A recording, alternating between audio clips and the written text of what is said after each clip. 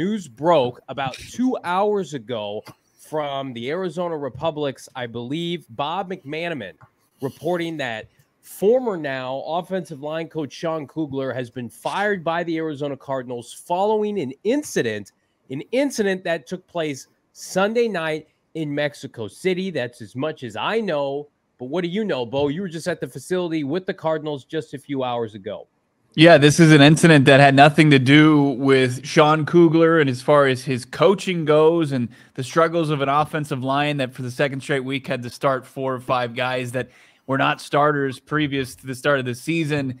Sean Kugler was not relieved for the the lack of production from his group or the he was run game coordinator. This was something that happened off the field according to multiple reports. You know, Bobby Mack reported for AZ Central that this this went down Sunday night, and Kugler was not with the team for the massacre that happened Monday night with the 49ers just rolling them. Kugler actually was sent home earlier in the day. It was interesting. We talked to Kliff Kingsbury in his weekly press conference following the game, just kind of catching up with him.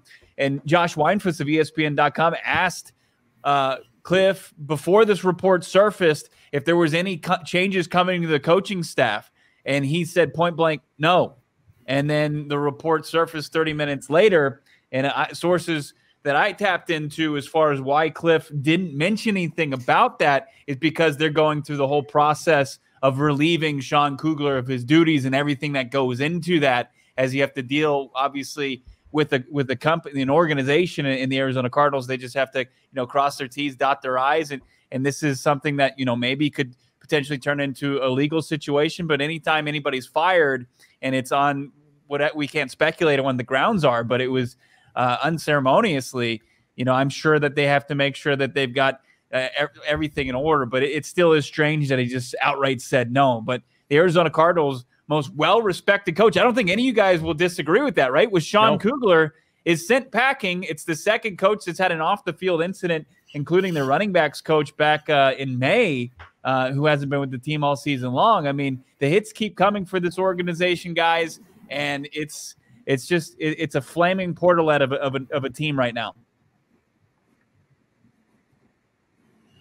Yeah, guys, it, it's sad, sad, sad. I mean, every aspect. I mean, we haven't even touched. I mean, it's so bad right now. We haven't even touched on the Monday night debacle that we all witnessed yesterday. But to have two coaches depart your team for unfortunate unfortunate circumstances, I mean, it just doesn't. It's not a good look. And as we always talk about, Johnny Bo, optics are everything in this business. And to your point about being a, a, multi-billion dollar organization that is a you know any NFL franchise in the National Football League there's going to be legal there's going to be human resources that they all have to make sure that they're very meticulous in this process and you know, uh, it, it's unfortunate that it transpired and one man's trash is another man's treasure. So, and, and I know, I believe one of you guys tweeted who, who's the next man up uh, in, in, in Kugler's absence. I'm not. I'm not sure. Bo, do you know the answer to that?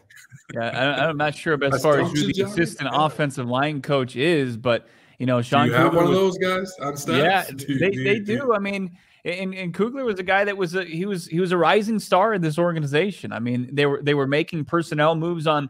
You know, did you have a history with Sean Kugler? Will Hernandez was having arguably his best season as a pro after rejoin his former college coach as, as they worked together at UTEP, in which made Will Hernandez kind of a draft darling before he became kind of a draft bust. I mean, this is one thing's clear with this this Kugler situation is the collaboration, like the understanding of doing what's necessary to win at any means necessary. It's nowhere to be found in this organization. They can't get out of their own way. They can't get their coaches on their sidelines. They're having things that are preventing their players from getting to training camp. You know, it, it's it's one incident after the other. Mexico City, Johnny, was clearly not viewed as a business trip for all the guys in this organization. As oh, one yeah. guy was sent home. Yeah, party time, right? I want to get to a comment here from Breedle03. Uh, and I think this is this is something I wanted to bring up. Uh, he states, How can we hold Kugler accountable by firing, but Keim got six weeks suspension for a DUI? So, number one, we don't know if it's a DUI or not. We were talking to Damon at, off air, and there's a, a good chance that none of the coaches had rental cars, they Ubered, they had paid travel. Um, and uh, so I'm going to speculate right now that if it if it had been a DUI, it I would assume he gets suspended. Probably is suspended indefinitely. I don't know that for certain, but to your point, Vito, like if we're if we're taking Michael Bidwill face value here, and Keim's obviously holds a much higher position than Sean Kugler, but to Bo's point, Sean Kugler has been promoted multiple times with this franchise, and they, they did not want to get rid of Sean Kugler, the coach. So uh, if I had to guess, I would say it was something else than than a DUI or something like that, driving under the influence, DWI. But we don't know for sure. Um, so we're not going to speculate further. But it had to be bad enough where the team just goes, "Nope, you're gone." I mean, James Saxon had domestic charges brought to him and was placed on administrative leave. He was, he hasn't been fired yet. I think he's still getting paychecks. Like Sean Kugler is no longer with this organization following what happened Sunday night. And here's what I also will say is it, the reaction then becomes, well, we're going to find out on a hard knocks. Are we going to find out? Because I mean, you guys like kind of famously know now that the Eno Benjamin situation was a thing and then it wasn't a thing. And why isn't a thing anymore? And we're not supposed to get answers on that. I don't think there's a guarantee that we hear about this on Hard Knocks, which I mean, think of that what you will uh, regarding that show. I know we're going to be covered tomorrow afternoon, tomorrow evening after it airs, but the Cardinals have a culture problem.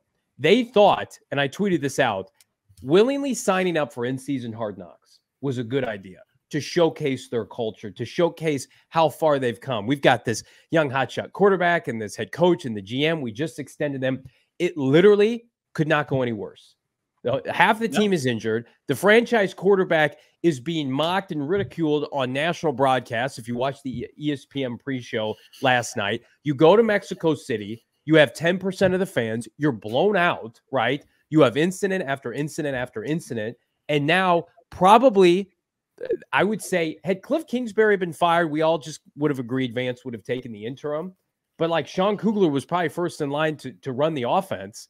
Now Sean Kugler is gone, and this team sitting at four and seven, Bo, is in a position where they're just trying to, to take it day by day. I don't know how they survive literally the rest of the season because it seems like every other week we get something like this. Yeah, this is going to be an unpopular opinion, but it, it, I kind of feel for Kliff Kingsbury because as far as the privilege of getting to coach or play in this league, it, it's lost on a lot of the guys in that organization. You, like you would think that the, the amount of money that you're getting to be a part of this game would be enough to to keep you uh you know out of trouble and it and it's not and then Kliff Kingsbury has to go to professionals and pretty much I mean he has to he has to drop the hammer. He should have dropped the hammer long time ago. And it's it's unfortunate because you think that this team coming off a playoff appearance the previous season that they had kind of in their sights what they wanted to accomplish and it, it doesn't seem like that's the goal of, of too, too, far too many people as far as the, the coaching staff goes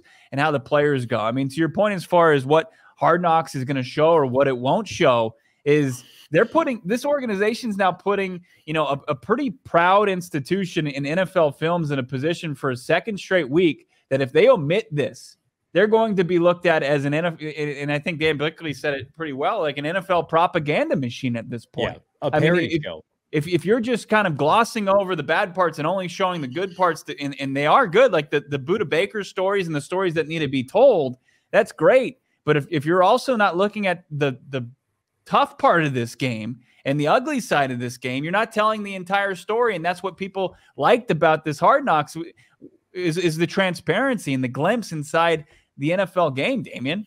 What, what guys, I think at times people tend to fixate on these professional athletes. You know, myself, you know, a, long time ago was one as well, and they hold them on this pedestal. And I think that they forget, Bo, to your earlier point, that just because these guys make hundreds of thousands, millions of dollars, hundreds of million dollars in certain contexts, that they're not human and they're not susceptible to you know, make, making bad decisions, right? I mean, if it, we, I don't know about Sean Kugler's background. I'm not even going to pretend to speculate what happened. However, yeah. it just looks bad on all fronts, right? The fact that you want to keep things consistent, you want to, you want it to be fair, but we all know as three grown men, life isn't fair you know that's not how it goes. And to some that we just, we talk about this on the show about uh, uh, about Rondale Moore being in a position versus Greg Dortch. Every time Greg Dortch gets the opportunity he shines. But anytime Rondale Moore is healthy he goes to the sideline. And the same thing is applicable here with you know this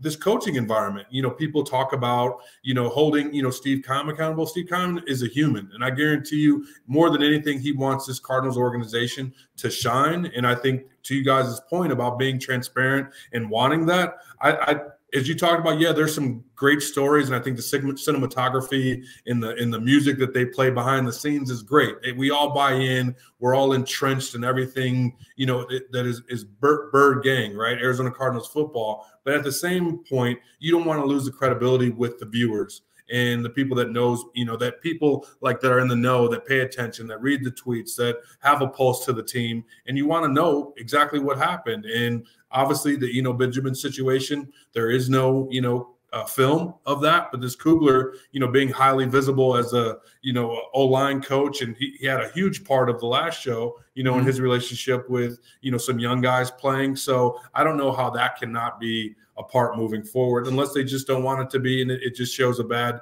you know, face for their for the NFL as a, as a, as the shield as a whole, guys.